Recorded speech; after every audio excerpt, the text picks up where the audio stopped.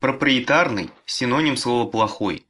Проприетарность не дает другим залезть внутрь и что-то улучшить, таким образом покупатели вынуждены приобретать второсортные товары по завышенным ценам.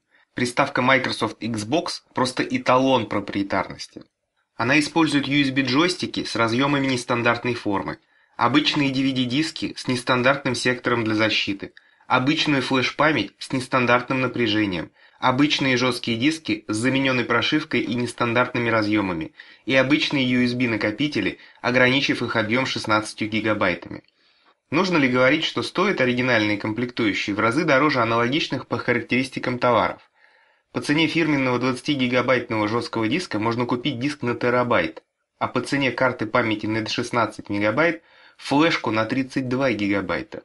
Проблема в том, что Microsoft сама ничего не разрабатывает – она просто заказывает стандартные комплектующие и оснащает их нестандартными разъемами, чтобы нельзя было подключать обычные устройства.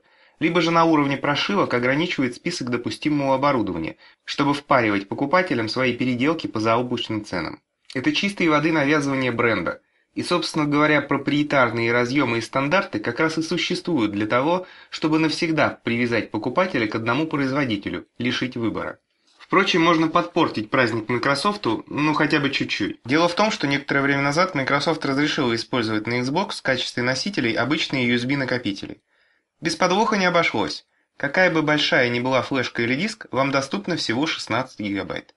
Хотите больше? Покупайте официальный жесткий диск за дикие деньги. Впрочем, существует способ использовать все доступное на диске пространство. Сразу оговорюсь, лимит в 16 гигабайт убрать не получится, так как приставка тут же зависает. Это всего лишь способ обхитрить консоль. Для начала подключите USB-накопитель и, следуя экранным подсказкам, настройте его в качестве накопителя Xbox. Теперь подключите диск к компьютеру. Вы увидите там раздел в 16 ГБ с одной единственной папкой Xbox 360. Если папки не видно, то включите отображение скрытых файлов в свойствах папок в панели управления. Внутри папки содержится как минимум три файла data. Они представляют собой так называемую FAT-X проприетарную файловую систему, использующуюся в Xbox. Перепишите папку на компьютер. Теперь воспользуйтесь любой программой для работы с разделами диска, например Gparted, чтобы полностью удалить все разделы на диске. Дело в том, что Windows плохо работает с разделами на съемных носителях и не дает создавать FAT32 разделы больше нескольких гигабайт. У специализированных программ таких ограничений нет.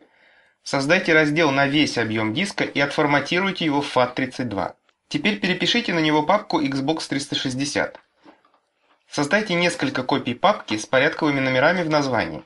Фактически мы забиваем весь диск кусками по 16 гигабайт. Консоль будет использовать папку с именем Xbox 360. Задав папке другое имя и переименовав любую другую папку в Xbox 360, мы подменяем используемую консолью систему на другую. Ну, примерно как заменить компакт-диск в приводе. Да, это не очень удобно, и для смены нужен компьютер, но это единственный способ использовать весь объем внешнего накопителя с Xbox 360.